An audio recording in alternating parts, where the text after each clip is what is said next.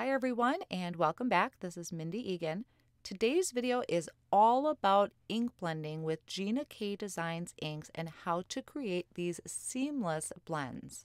I'm going to walk you through her ink line and the products that she has available. I'll also show you the tools and paper that I will be using. And then I have many, many color combinations that you can use. I will have all of these graphics over on my blog so you can save them for reference.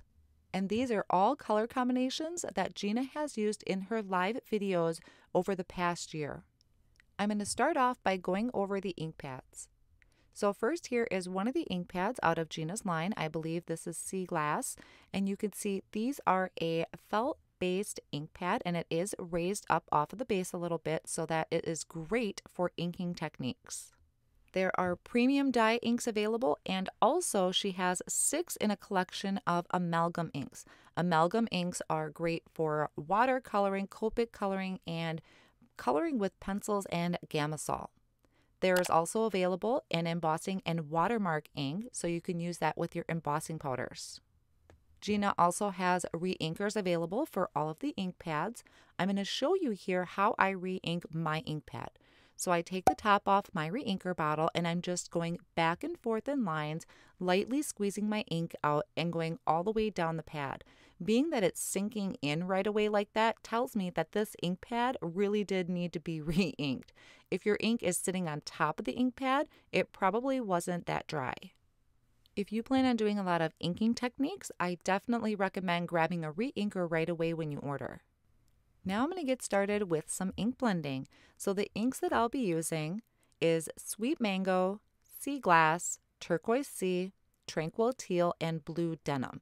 Now, this is one that Gina had used in one of her lives, so I'm going to do it on a little piece of paper here that I just trimmed down. I'll have the measurements listed over in my blog. And this is out of Gina's Layering White cardstock. If you have never used it before, I highly recommend it for ink blending. It is super, super smooth. And what's really great is it works so perfect with her inks. Her ink pads have kind of an airbrushed look to it when it's dry. So it has a smoothing agent in it. It might not look the greatest when you first start ink blending, but let it dry and I promise you it will look just absolutely beautiful. When I do my ink blending, I like to work on a slick surface like my glass media mat. It just helps everything glide onto the paper a lot better. I started with that sweet mango at the very bottom. Now I'm bringing in the sea glass and I'm starting in off on the side of the cardstock and blending onto it. Now I'm also using Gina K Designs blending brushes. They have the white handle and white bristles, so you can always tell what color is on there. Now this third color I have is turquoise sea. You could really skip one of these colors if you didn't want to use all of them. I was just going through all of her lists that she had out there and experimenting with all of these different color blends. Now, how you hold the handle of the blending brush is really up to you and what you feel comfortable with. I like to have my fingers on the head of the brush. That's just easier for me to control the pressure. I am not going heavy handed on this first run. I am going pretty light. I normally will start light because I can always add color. I can't take it away. And I'm also going in circular motions. I kind of start off the paper in that circular motion and work my way onto the cardstock that's going to help eliminate any harsh lines.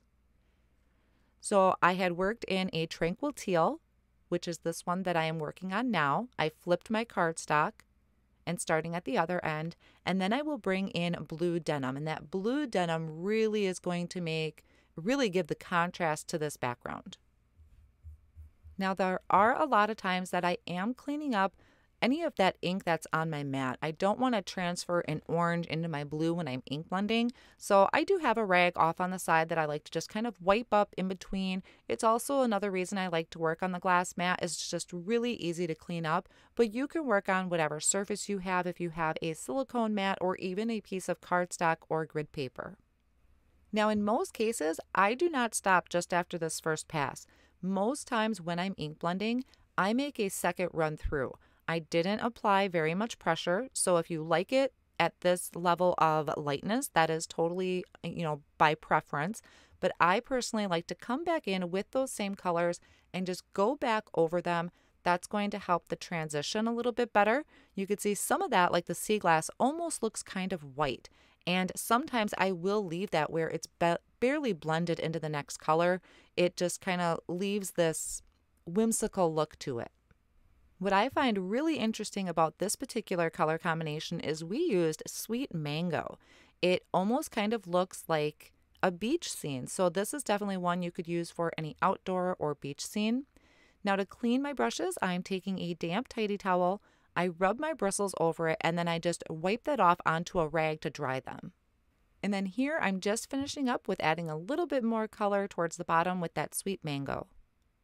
Now I do have a lot of ink blending and a lot of color combinations to show you. I do speed up the process, but I'll go through all of those colors with you. And at the end of the video, I will be taking a couple of these and turning them into cards. This next color combination that I have for you is Wild Dandelion, Sweet Mango, and Coral Reef. Now, if you were going to start with ink blending, this is a good one to start with because these colors are all warm colors and they work together really, really well. Sometimes there are colors that are a little bit more tricky to blend together, but this is a great one to start with. And it's just three colors. So I have a color on each end and then right in the middle. And then once again, just blending those in circular motions. I did speed up all of this process, but I still wanted to show these color combinations to you and how I applied them. Now this one would be really good for a type of summer background. It has such nice warm tones to it. My next color combo is going to take us to the beach. I have Sandy Beach, Sea Glass, Turquoise Sea, and Tranquil Teal. And in most of these blended panels that I have, I am going back over them twice. I kind of eliminated a lot of that from the video to save a little bit of time, but I do go back over it quite a bit and then set them off on the side to dry. And this one I think I even use with the Ocean Minded stamp set. Really pretty beach scene. This next one has a very fall tone to it. So we have grass green, sweet corn, honey mustard, and fired brick. This color combination would be really good with any type of silhouette stamping. If you have some images of leaves to stamp on there, you could stamp those in black for some silhouettes, or even stamp your leaves on here or heat emboss and die cut them out. The next one that I had for you is a rainbow of colors. So this is one of my favorite color combinations for a rainbow. And I know I'm missing a color out of here and I will catch that one in another col color combination coming up. So we have red velvet, sweet mango, wild dandelion, jelly bean green, and turquoise sea. Absolutely beautiful, beautiful colors to have for a rainbow. Now the next color combination that I'm going to be showing you is quite unique. I haven't done these colors before, but I am going to use this panel for a card today. So we have honey mustard, prickly pear, and innocent pink. So very unique, and this one I'll be using my card soon. Now I have wild lilac, turquoise sea, and lucky clover. This is a really pretty uh, kind of cool tones type of color combination. And if you're fairly new to ink blending, doing it on a smaller piece of cardstock list like this is a lot easier than an entire background. So this is a great size to start with too. Now I'm working on the rainbow. So this is the full rainbow. We have red velvet, tangerine twist, wild dandelion, lucky clover, turquoise sea, and we're getting in the wild lilacs. We have the purple there then at the bottom to complete our rainbow. Our next one is another unique one to me. This one is Innocent Pink, Sweet Mango, and I believe I we used Sandy Beach. So a very soft type of color combination on this one. My next color combination is Peach Bellini, which I don't give enough love to, Sea Glass, and Sandy Beach. And then I have one more color combination for you here, and then we'll turn a couple of these into cards. So this last color combination here that I pulled together was sweet mango, sweet corn, and apple mint, which is another one that I don't give enough love to. That apple mint is just a really, really pretty green. And so now I'm going to take a couple of these and turn them into cards. So to do that, I am bringing out my MISTI tool and I have a piece of heavyweight cardstock here that's four and a quarter by five and a half. And I also have this large floral image from the Flowers for You stamp set. I'm going to ink that up in the obsidian ink and press that down to stamp that onto my cardstock. And I'm going to stamp it twice to make sure I have some really crisp lines here. Then I'm going to take another piece of paper And I am going to add one of my blended panels onto it just with some tape runner to hold it in place. This isn't going to be the actual card base. I just need to stamp my image on it. So I'm lining this up, uh, trying to make sure my margins are as even as they can be. And I'm going to stamp that back down. The reason I'm not using that other piece of cardstock right away is because I have a piece, my blended panel in there, there's a little bit of a lift. So I'm not going to get as crisp of a line on that bottom piece. So I am doing these two steps separately. That bottom piece that I'm using could just be a piece of scratch paper. Then I can take that blended panel, add a tape runner to it, and I'm going to put this on top of that first stamped image I did. And you can see how it's going to line up like a puzzle and just fit right in there. All of the lines are consistent. There's no dip from any edge of a cardstock. Just be careful when you're pushing it down. You want to give your ink time to dry. I smudged mine a little bit, so let the ink dry for a little bit.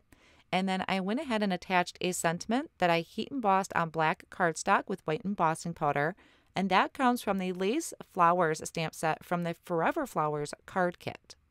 And this is the second card I had done. This is the Lace Flowers stamp set image, and I paired it with a greeting off of that same stamp set. If you struggle with ink blending, I hope that these tips help you along the way. Here is a look at all of my blended backgrounds that I did, except for the two that I put on a card. And I will have all of these over on my blog. I made graphics for each color combination so you can save them for future use. And all of my supplies will be listed down below in the video description and on my blog as well. Thank you so much for joining me today, and I'll see you back here real soon.